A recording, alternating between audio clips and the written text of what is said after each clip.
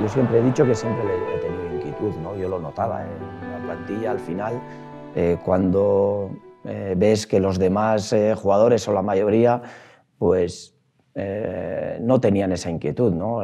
siempre te lo dan todo hecho, ¿no? te dicen los horarios, lo que tienes que comer, cuando saltas a un campo de fútbol, las tareas que tienes que hacer, las haces y ya está. ¿no? y yo tenía la inquietud de por qué se hacían esas cosas, las apuntaba. Eh, desde muy chaval, ¿no? Eh, los partidos que había en la tele los grababa, los voy, a ver, ¿no? Para ver cosas eh, diferentes y decía, bueno, pues esto me gusta, esto no. Analizaba las situaciones, las cosas buenas, malas, entonces tampoco, entonces en la época juvenil no había situaciones de vídeo, pero luego sí, luego ya en el Eibar Bilbao Atleti veía las cosas y decía, pues ahí tenía que haber hecho esto o lo otro, o tenía que mejorar en estas situaciones.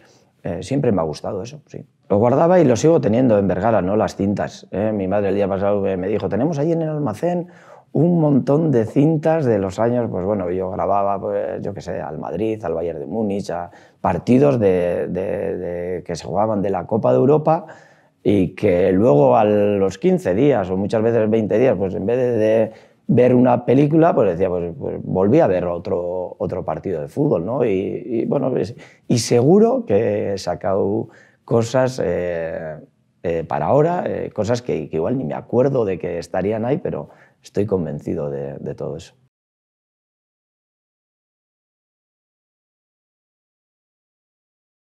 Pues yo creo que, que entendía bien el juego. Eh, siempre digo que aunque eh, tenía las condiciones para jugar en lo que se dice ahora una media punta o poder eh, jugar el juego arriba o en banda izquierda, en muchas situaciones, porque creo que, el fútbol, por, por cómo me, me, gustaba, sabía lo que tenía que hacer en cada sitio, técnicamente yo creo que, que, era bastante bueno, a balón parado golpeaba, golpeaba, bien. yo creo que luego faltaba algo de mentalidad, ¿no? algo de mentalidad algo más me, hizo falta para, para, poder llegar en aquel momento a, Primera División, porque los medios los tenía todos. ¿no? He estado en un sitio increíblemente bueno que es Lezama, en la que me, han dado y me han enseñado absolutamente todo. Y entonces, eh, si no me dio para llegar, eh, es porque eh, no valía o no, o no pude.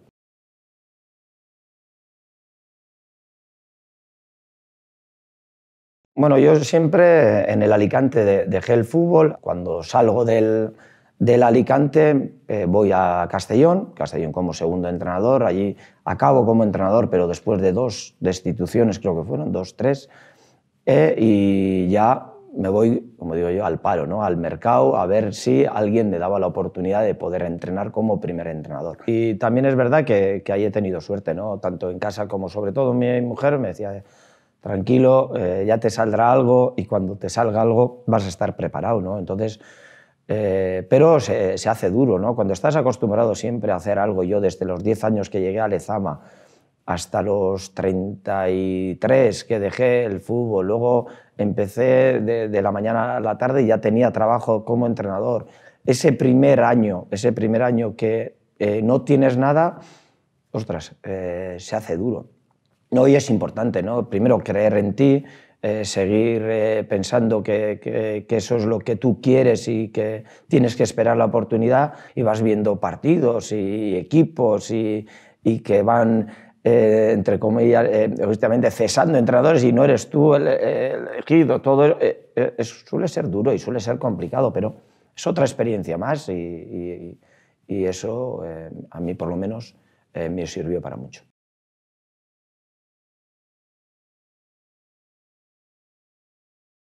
Primer equipo, siempre lo digo, son los, los parados de AFE. ¿no? Eh, yo tuve eh, la suerte de, de, tenerlos como jugadores a todos los que montaron la Asociación de Futbolistas, o la segunda vez, quiere decir a Rubiales, a Tito, a Kiko Piña, a Jorge Azcoiti, a todos estos, y ellos eh, montaron las primeras sesiones AFE de jugadores, de jugadores parados, que se hizo en Benidorm. Yo la residencia la tenía en Alicante y me pidieron a ver si podía entrenar a aquellos eh, jugadores, para poderlos dirigir en sesiones de entrenamiento de mañana y tarde y en una semana o en diez días que duraba aquello poder jugar cuatro o cinco partidos contra equipos eh, internacionales. Todos con el mismo objetivo. Eh, me acuerdo que hicimos una charla previa ¿no? de, de cuáles eran los objetivos en esos 10 días eh, y, que, y, que, lógicamente en los partidos iba a venir mucha gente a, verles para ver si encontraban eh, trabajo. La verdad es que eh, tuve un grupo increíblemente bueno,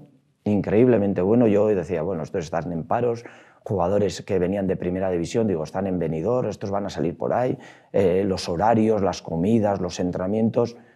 Bueno, no, no hizo falta decir absolutamente nada. Es más, pedían más trabajo, quiere decir que, es la leche. Luego, eh, muy solidarios con ellos mismos, sin ningún egoísmo, eh, compitieron bien, encontraron un trabajo, creo que todos los jugadores que estuvieron en aquella época conmigo en aquellas sesiones de AFE, la verdad es que fue una experiencia increíble, eh, muy buena, en la que te enseña también el otro lado del fútbol, ¿no? en el que te crees que siempre vas a estar trabajando, siempre vas a estar eh, jugando y ves a jugadores increíblemente buenos que no tienen esa posibilidad. ¿no? Y eso también me enseñó mucho y a mí como entrenador me sirvió para ir cogiendo experiencia delante de pues, 20, 22 jugadores que era la, la primera vez.